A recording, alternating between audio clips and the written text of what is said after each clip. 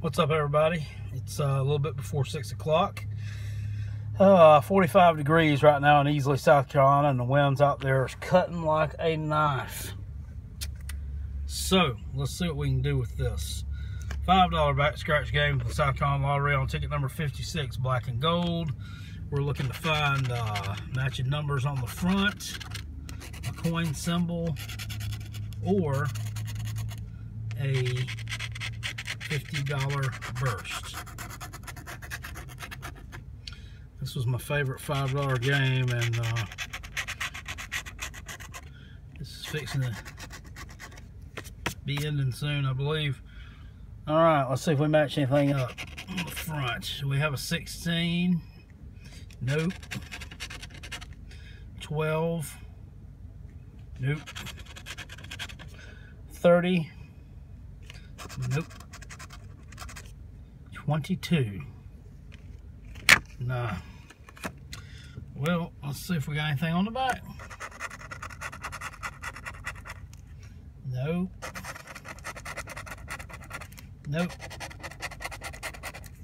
Nope. Nope. And no. Wow. I actually had two losers in a row because the previous one was a dud. I tried to film it, but uh, it wasn't recording kind of strange. This ticket usually shows me a love. I got 56 and 57. I can probably scoop 58 and 59 up tomorrow because the store I got them from don't sell a lot of tickets. Got a little bit of uh, action tonight we're going to do from uh, North Carolina Lottery. Later on, when I get to the house, I stopped and uh, picked up a couple of these yesterday, the $30 Extreme Millions.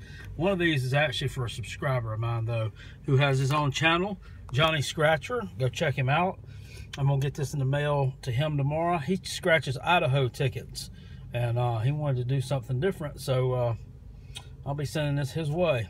$30 Extreme Millions. I got a, some uh, fives, twos, and threes. I got a couple of the new back scratch fives, uh, old five, and uh, a couple of new tickets. So we'll do that later on this evening. All right. Hope to see y'all later, and uh, have a great night.